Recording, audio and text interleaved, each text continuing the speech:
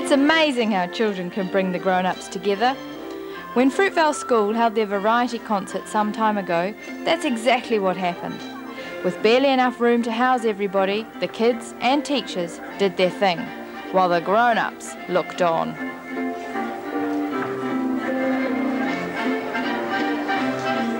If you get a little too much of this or not enough of that, the spell doesn't work properly. So let's try a little of this, swiftly tapping, surely shuffling, and a little of that, and a pinch of something else.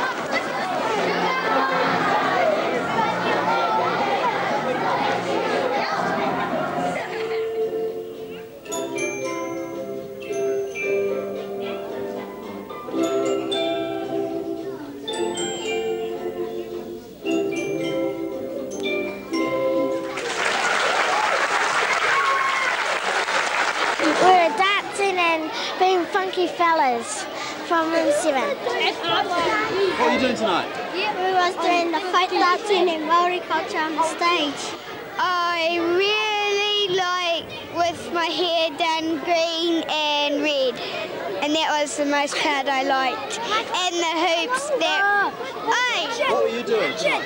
I was skipping that um, on the third to last performance and I was dancing on the stage with other people. I done um, gymnastics, I done um, cartwheels.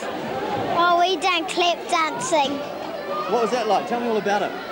Well, we were learning it for about three days. Well, um, we were just doing um, an act for um, this talent thing that we were doing, and it's called Funky Fellas. And um, uh, my dad's in the audience watching, and each time um, I stopped, he always looked at me and he waved or he thumb.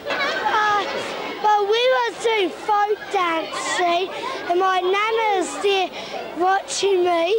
Well, I was up front next to my friends, and the song was "Sweets for My Sweets" and "Hello, Mama." I was, doing um, a folk dance, and then I was, and I had to um, clap to the left and then clap to the right, and then I had to go that way and then eight steps the other way, and I had lots of fun. Seems the idea of giving away your life story in 60 seconds is catching on in the Lynn. This week, we check out a happy loving couple that know exactly how to seduce their LynnMall patrons. They go for the stomach. Let's go! Hi, I'm Ian, owner of this Muffin Break Cafe in LynnMall City in the food court. We're mostly muffins, of course, and I'd like to show you a few that we have on display today. Double chocolate, lemon cream, banana berry, pineapple coconut, and chocolate strawberry. We have 15 varieties available daily, but we're not just muffins, we're coffee as well. And this is my wife, Deirdre. Hi, Muffin Break specialises in its own mellow espresso coffee, and we can give it to you either in a mug or in a cup. You can have a, a cappuccino, a flat white, a long black, a short black for coffee lovers, and the New Zealand latte. We also do hot chocolates and specialty teas, and for a little sample, here's our hot chocolate complete with marshmallows and a cappuccino. So there you have it, folks. Now let's hear from one of our regulars, Brendan. I've got to tell you, this has to be the greatest muffin known to mankind. There you go. What did I tell you?